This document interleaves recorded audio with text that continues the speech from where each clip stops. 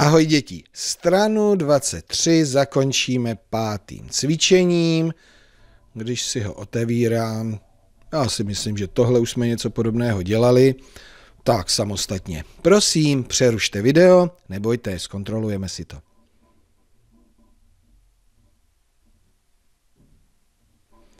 Tak, krátké zadání, počítej. 20 plus 2 rovná se, co tam máte?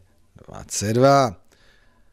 Teďka plus 1 rovná se 23 a ještě plus 2 rovná se 25 plus 1 rovná se 26 plus 2 rovná se 28 plus 1 rovná se 29. Kontrolujeme.